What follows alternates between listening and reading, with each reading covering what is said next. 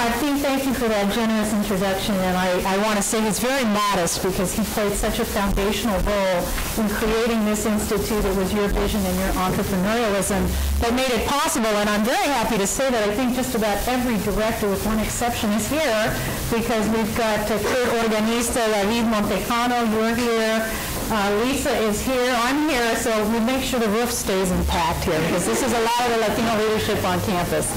So in addition to thanking Martin, I also want to thank Lisa Garcia Bedolla, Christina Lash, and the staff here at the Center for Latino Policy Research for all that they've done to make this event a success.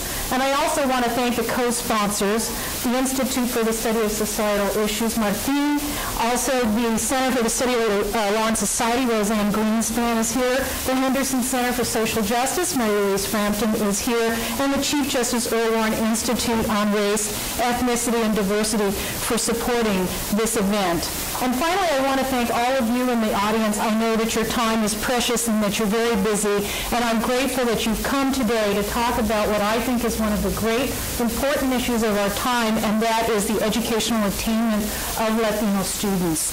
And this kicks off a series that will address those issues, and so hopefully this will just be the beginning of a number of conversations on these issues. Now, when I was asked to speak, I thought, well, it's wonderful to be returning to Berkeley and to have a chance to brainstorm with you. But I also wanted, because of this recent event in my life, to weave throughout my account of the statistical picture of Latinos in schooling and the structural challenges that they face in the educational process, to weave into that my own experience, which often resonates with those statistics and those studies that I'm going to talk about. So let me begin with the elementary school years and the secondary school years. When I was an elementary school student, I was walking down the hall one day when I overheard a teacher say, such a bright girl, too bad there's no future for her. Even then, I knew that her prognosis was all wrapped up in perceptions of my Mexican ancestry and identity, a status that would leave me on the outside looking in, whatever my abilities or efforts might be. But what I don't think that teacher appreciated when she made that remark was how devastating it felt to be written off before I had reached eight years of age. But the truth is America was a greater country than she had imagined. At night I would go home to watch scenes from around the nation on what was then a new remarkable invention called television. And I saw the images of people chanting, being pulled apart and coming back together facing down force by meeting violence with nonviolence and, in the process, demanding that America live up to its promise as a democracy rooted in principles of equality and liberty. As a child, I did not realize, well, this is the next generation speaking out already. Great. And so, as a child, I did not realize that those brave individuals would change my life by redefining the structures of opportunity through social activism and legal struggle. These efforts would remake the parameters of my future, making it possible for me to stand here today as Dean Designate of UCLA School of Law. The, the process of social change takes time. And in the meanwhile, there were other people who reached out to me, nurtured me, and helped me to love learning for its own sake. They prepared me for the future that might lie ahead. So at the same time that this teacher was bemoaning my fate, I had another teacher, Mrs. Lola Clevenger, who basically convinced me that I had potential. She instilled in me an excitement about ideas, and she made me feel that I fully belonged in her second grade class. At a time when I wondered about my place at school, she reached out and showed me how I could transcend the pettiness of that moment by transporting myself with books and projects. I don't think we ever forget the people who mentor us when we need it the most. I certainly haven't. And when I won a Distinguished Teaching Award here at Berkeley, when they asked me about my role models, Mrs. Clevenger was the one who came to mind because she had shown me that for each and every one of us, Learning is a search for meaning and a validation of who we are and why we are here. When I was asked about my own teaching style, I knew that any success that I had enjoyed stemmed from that early experience of connection and possibility. It wasn't just the information that was transmitted, it was the relationship that was formed. And so I wrote that though there are times when I am tired and when I fail, at my best moments of teaching, I reach out to the sad, lonely child in each of us, still searching for Mrs. Clevenger. Now, much has changed since the days of the civil rights battles of the 1960s that came into my home on television. But there is no doubt that having motivated teachers and mentors at an early age still matters deeply. Latino students today often live in segregated neighborhoods in households that are marked by poverty. These may be loving homes, but parents often have low levels of educational attainment that prevent them from sharing information about the pathways to school success and higher education. In some cases, language can be an additional barrier to participation, and immigration status can leave parents feeling vulnerable and ill-equipped to speak out on behalf of their children. At times, families may plant the seeds of aspiration, but not know exactly how to cultivate these seeds so that they grow into academic attainment. In their book Dream in Color, Linda and Loretta Sanchez, who are now both representatives to the United States uh, Congress, and I think this is unprecedented to have two sisters in the House of Representatives, recall how their parents nurtured their hopes for the future. Loretta remembers that one of her father's favorite sayings was, don't let anybody ever tell you you're a dumb Mexican. She now realizes that as an immigrant to the United States with limited education and Spanish as his first language, her father must have heard that over and over. When Loretta received a school assignment that stumped her, Despite their limited schooling experience, both of her parents stepped in to help her think about solutions, and her project was a tremendous success. In that moment, she learned an important lesson. She writes, if you defeat yourself, nothing will get done. But if you remain calm, look at every possibility, and work with other people, you're sure to come up with a solution. Even so, when the time came to make decisions about college, Loretta's parents could not offer her concrete advice since neither of them had attended college themselves, and so she was left to rely on a guidance counselor who was not particularly committed to being sure that Loretta made the most of her opportunities. Today, Latinos' educational success continues to depend on early intervention, high-quality teachers, and systems of mentoring and support. According to a study of a universal preschool program in Oklahoma, Latinos benefited more than any other group from access to this early enrichment experience. But for these effects to endure, these students must wind up in elementary and secondary programs that also are strong. Yet Latinos now are the group most likely to attend schools that are hyper-segregated by race, ethnicity, and poverty, and they tend to be taught by teachers with less impressive credentials in schools with fewer resources than those attended by their white peers. Latino students are twice as likely to be poor as white students and more likely to grow up in the most intensely poverty-stricken families.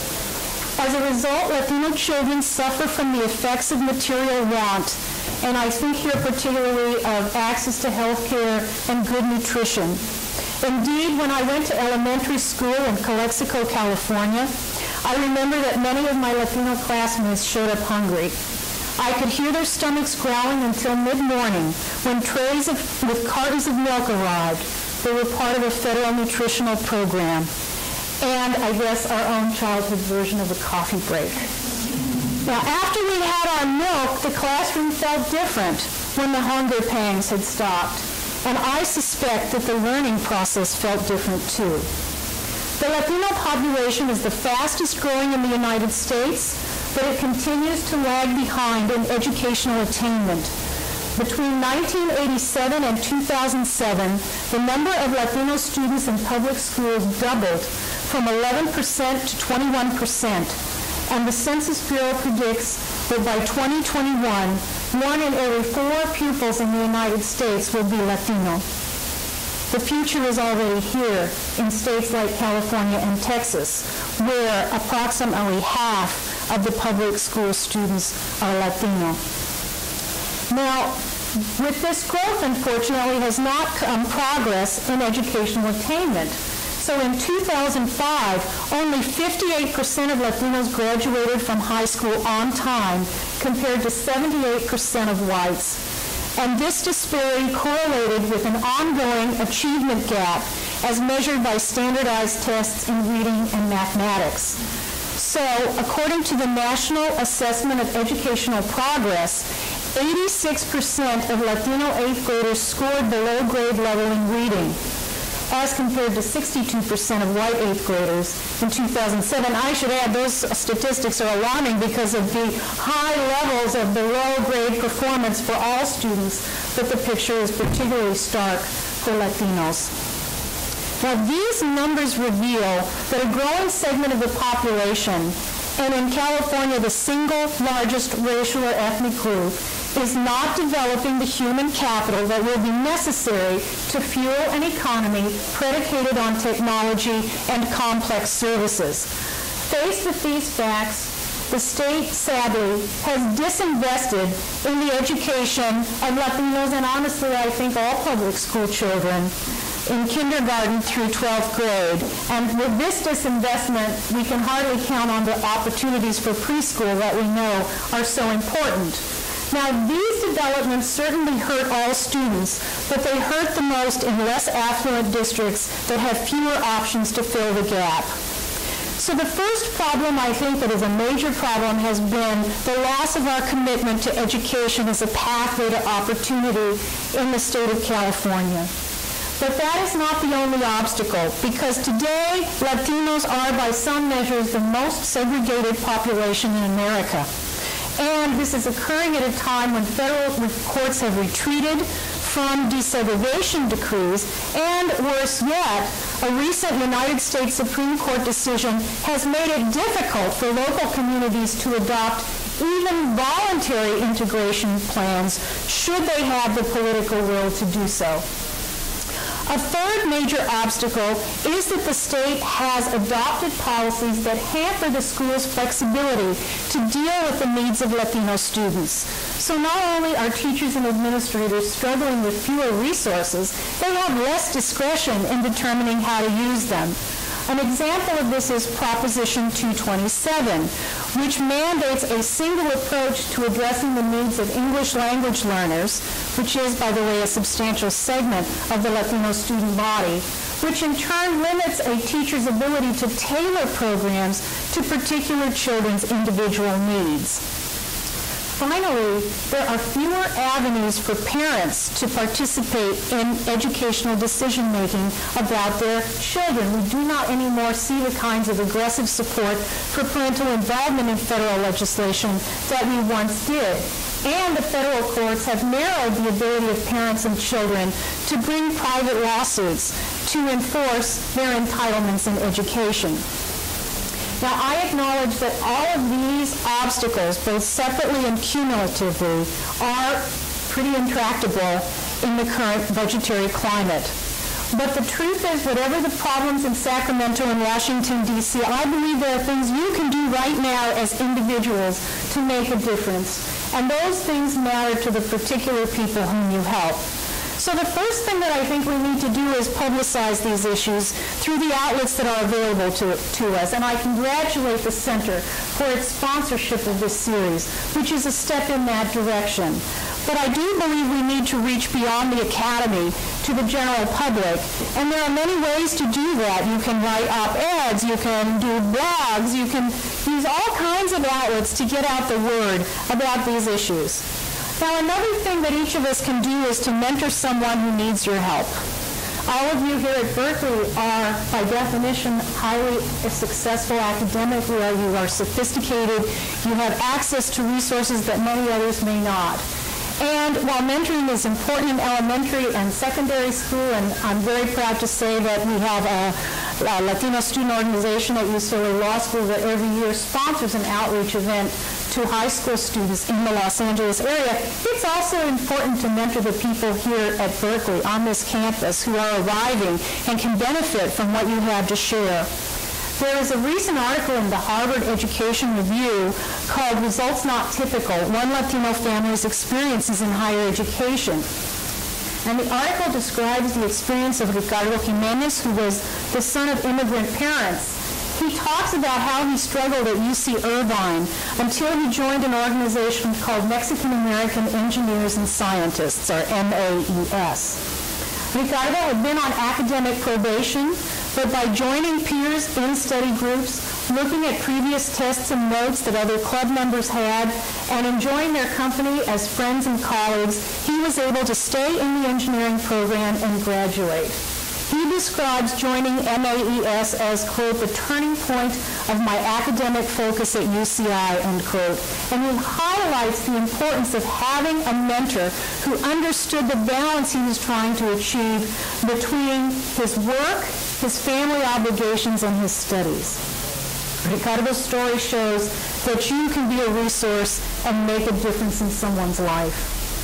Now, third, I think, and despite these difficult odds, I think Latino community groups, educational organizations, and civil rights advocates must continue to press for reform, and I want to give you an example.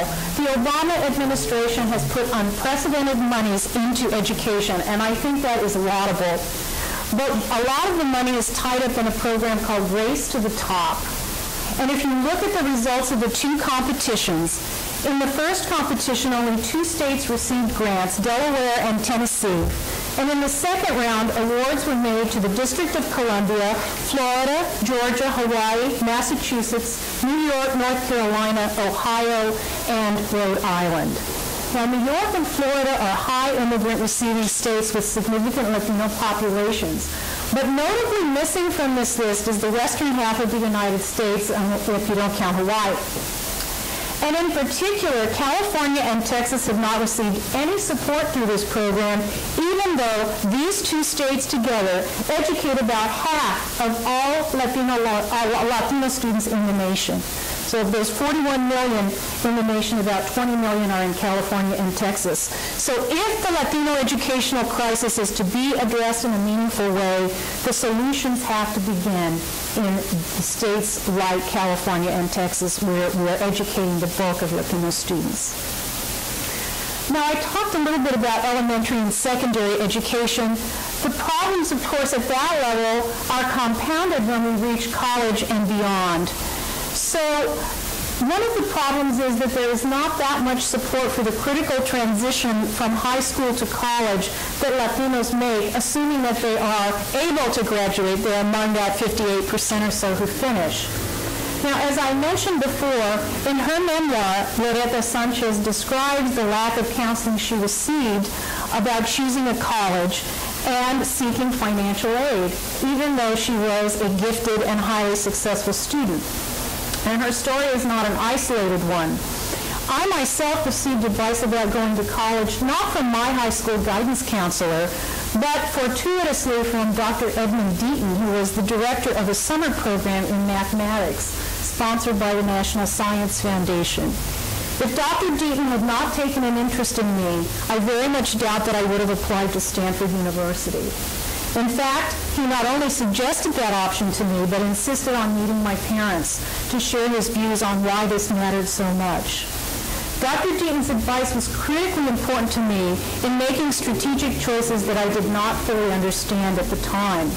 Only after I arrived at Stanford would I come to appreciate the intensely hierarchical nature of higher education. Apparently, many Latinos are in a similar situation. According to a 2010 study, Latino applicants often had academic credentials that would have permitted them to enroll in colleges and universities that were more competitive than the ones that they actually chose. But even though Latinos were, in some sense, overqualified for the institutions they attended, they nonetheless have lagged in college completion rates. This problem is particularly serious at less competitive institutions where there are already low overall rates of graduation. In fact, at the bottom 10 schools, only 17% of Latinos matriculated within a six-year period after enrolling. But even at selective institutions like this one, there is a gap, although the overall graduation rates are considerably better. So here at the University of California at Berkeley, 88% of white students graduate within six years, but only 79% of Latinos do, a gap of 9%. Now, an even bigger problem in California than this is that many Latinos do not enroll in four-year institutions. They are enrolling in two-year rather than four-year colleges, and then they never transfer to an institution where they can receive a bachelor's degree. Now, this is in part an artifact of state policy. The state made a decision to focus its growth efforts on community colleges. So in the late 1990s, California added 800,000 seats to two-year institutions, but expansion at four-year institutions has largely come to a standstill. And I think if you think about recent enrollment cuts and efforts to bring in out-of-state students, the squeeze that you see is only going to go in the other direction, will be smaller. Now, reflecting this trend, the bulk of Latinos currently in California attending a higher institution are in the community colleges. So the number of Latinos who enrolled at a four-year institution in California in 2005 was only 20.3%, so about one in five entered a four-year institution. But what is more chilling is that all of those other Latinos who enrolled in community college faced very long odds of transferring fewer than 8% transferred to a four-year institution. According to a recent College Board survey, our country now ranks 12th among developed nations in the number of 25 to 34-year-olds with college degrees. Once upon a time, we were first. President Obama has expressed a desire for the United States once again to assume its place at the top of the list. So far, his administration's reforms have focused on the student loan programs and increasing Pell Grants. But, and I think those are important steps. I, I think they're very important in helping people to finance higher education. But I don't think America can be number one again unless some measures are specifically targeted at the Latino population.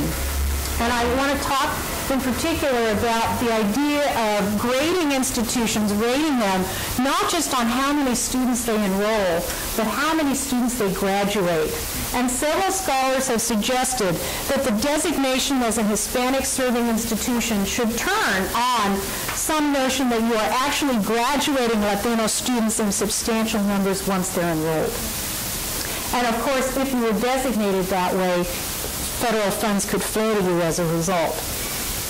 Now, the situation in California is especially urgent because, as Martin Carnoy writes in a recent report for PACE here at Berkeley, without an improvement in Latino college graduation rates in the state, California's economy could suffer down the road, making the state government's future financial problems even worse. I mean, I didn't even think that was possible. But apparently Martin Carnoy says it is if we don't start educating our Latino student population.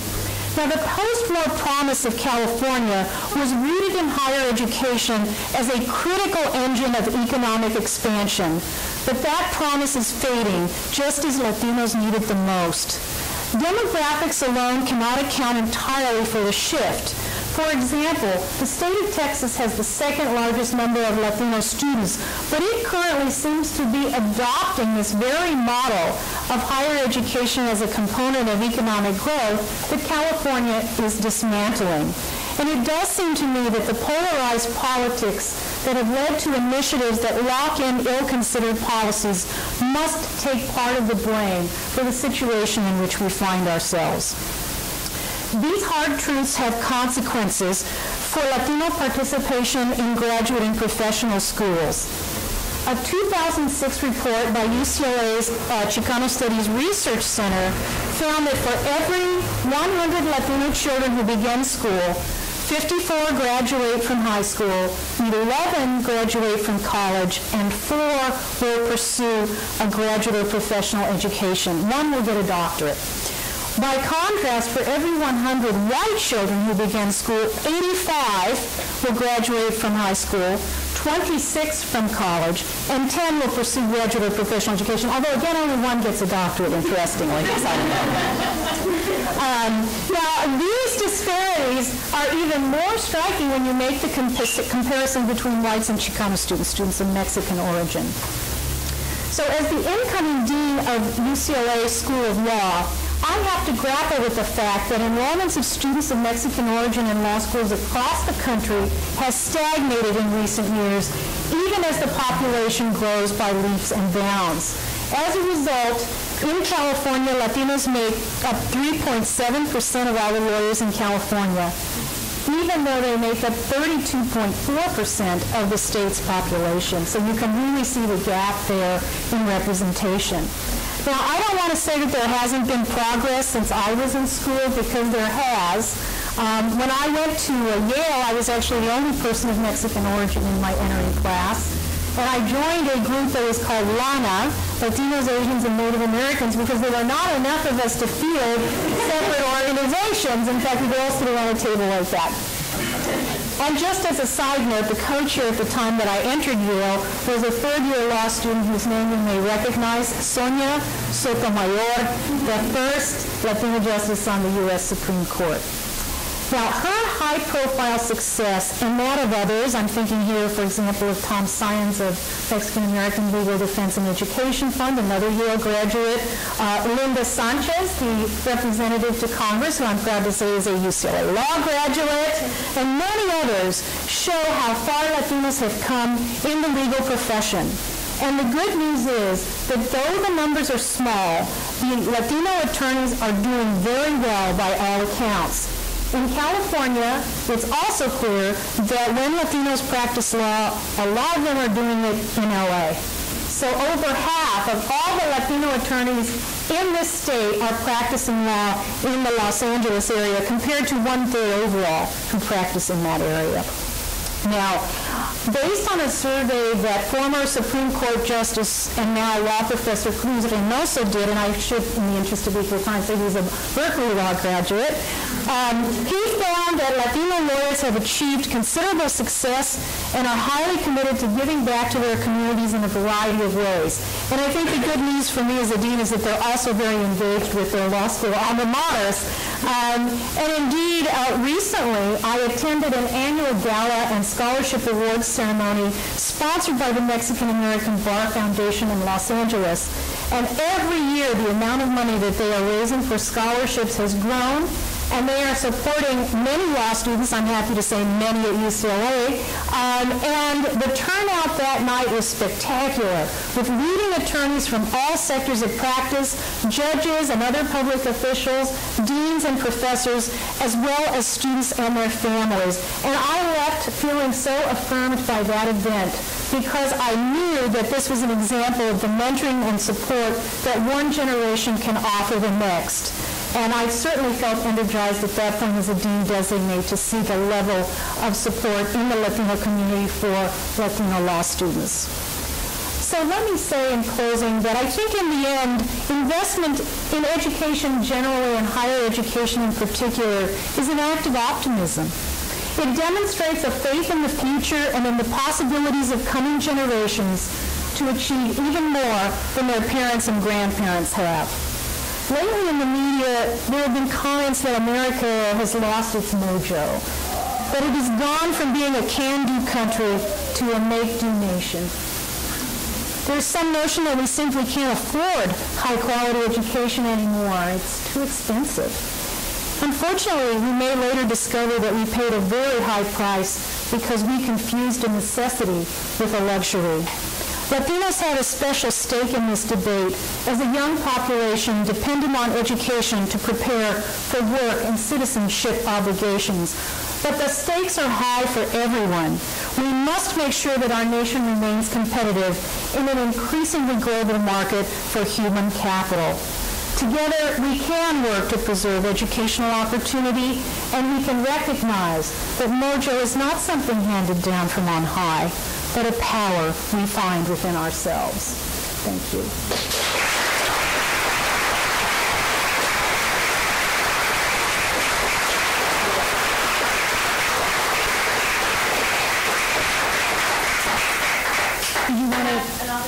Sure.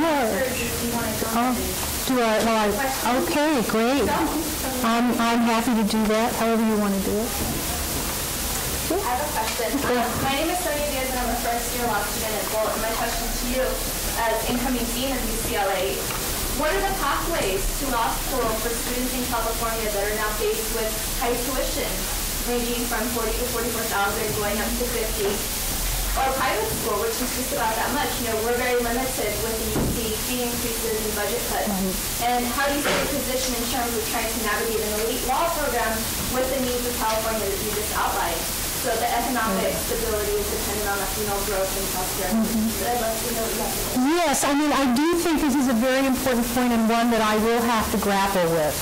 The first thing that I hope is that people who graduated in an earlier time will be willing to support the current generation of law students. These are individuals who got their legal education at a remarkable bargain price and have done very, very well. And I think getting the word out about these increases and their impact on students is incredibly important. Um, so scholarship aid. Also, those fees do need to go back in part to student support, and there's a mandated minimum that has to do that, but I think the goal should be to exceed that minimum. Um, and thirdly, the federal government has been taking steps to address some of the issues around student loans, and I think that's an important development, particularly with respect to loan forgiveness. And so I do think there are measures. I don't think that there will be a solution overnight. Um, one thing, though, that I do expect to do is to take a fresh look at any proposed future increases given the current conditions in the law market and make sure that they are justified. And if not, I think we need to revisit whether or not the escalator that we built is still the right one to have. So I do promise a fresh look at that in my own capacity when I'm actually dean. Um, Nice to see you again. Yes, nice to see you too. Um, I was just speculating here and now, I never gave it a thought. What about Spanish language acquisition among whites in school?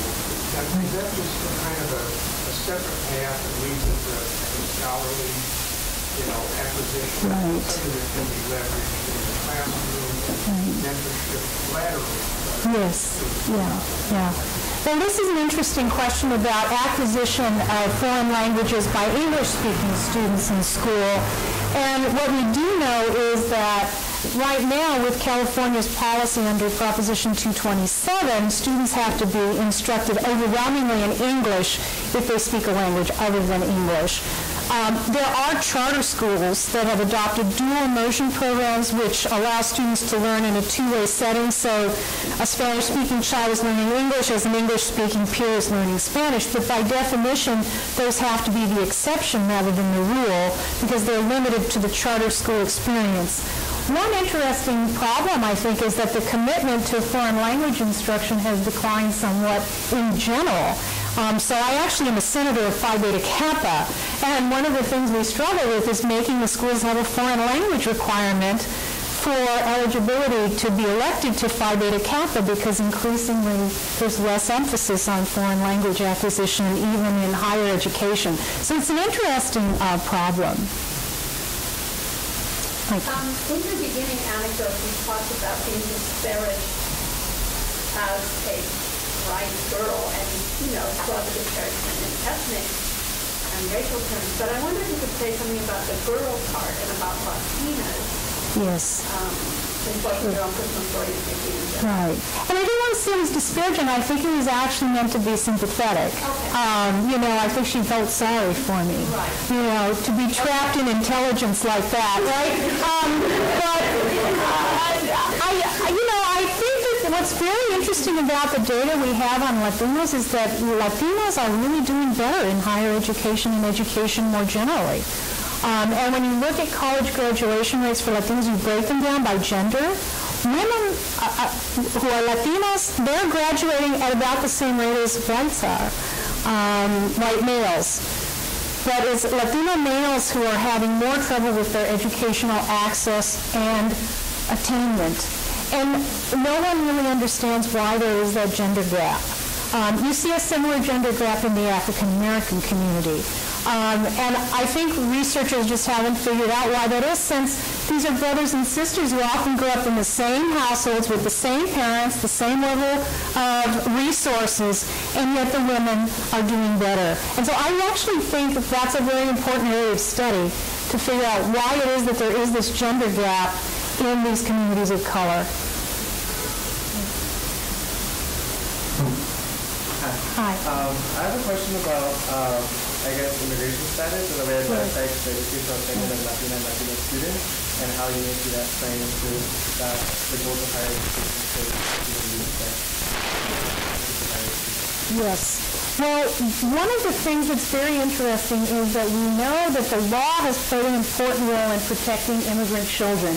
Plyler versus Doe is a landmark case that said that you could not exclude children from public education, elementary and secondary education, based on undocumented status. And the concern here was that if you were to do that to children, you would relegate them to a permanent underclass that would stay on in the United States, live here, but without the opportunity to participate meaningfully in the economy or our political life. And what's very interesting is actually someone went back and traced the children who brought this action, who were the, the plaintiffs and fire, and they did stay in the United States, and some of them did actually graduate from college.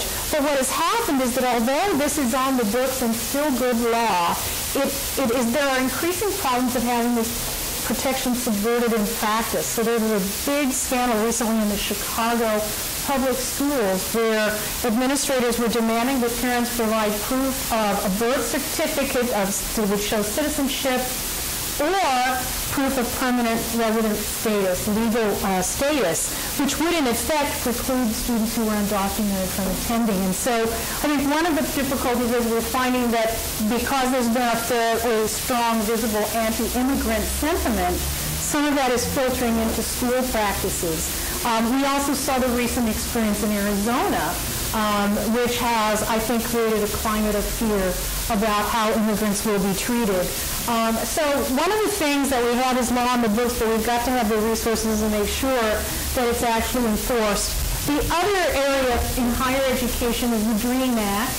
Um, and I know that one of the, one of the very first uh, AB 540 students has graduated, I think, at Berkeley.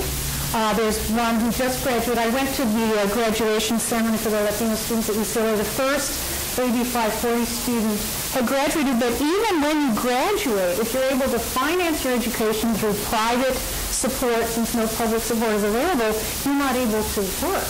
And so, you know, there are a whole set of issues around that. Um, and so I think that's another area of continuing controversy. Um, so it is complicated. The other thing that I just wanted to mention is that in, one of the things that's happened is the Latino community is increasingly dispersed. And so there are towns that never had the number of Latino students that they currently have.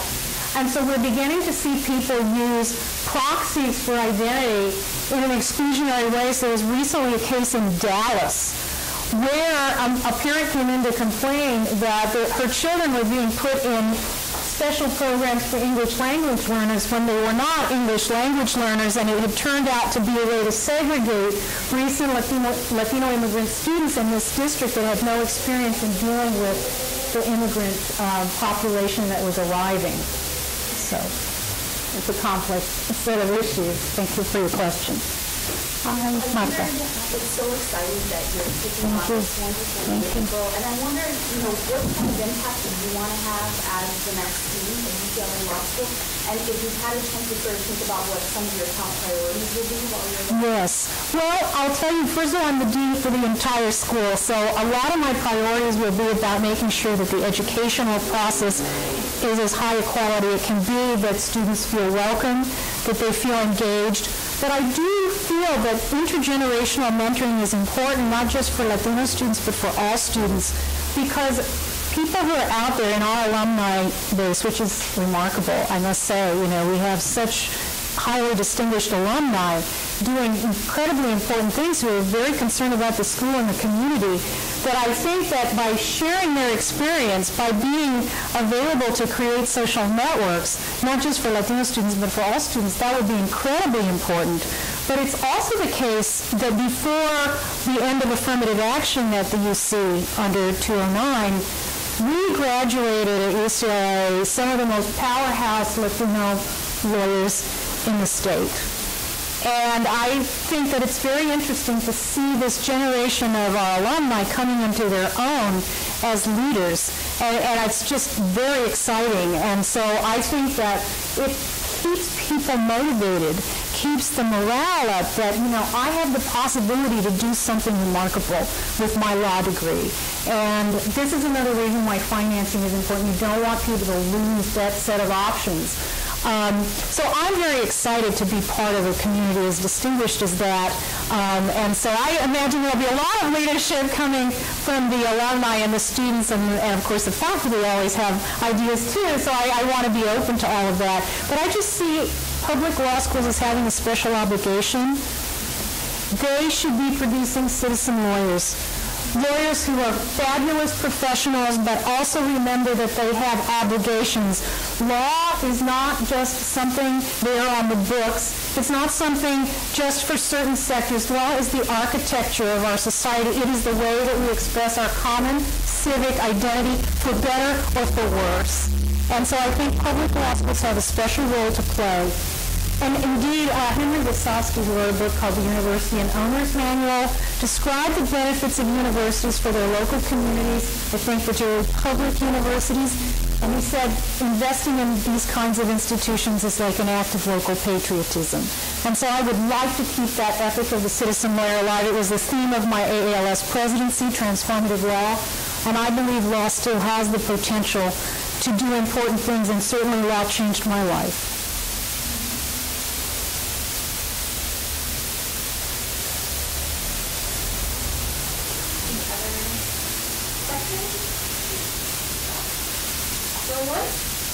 Oh, hi, Bianca. How are you? nice to see you too. Nice to see you. Um, congratulations. Thank it's you. a great honor Wow. to see you get to that place and um, look forward to seeing how you're going to manifest that with that networking.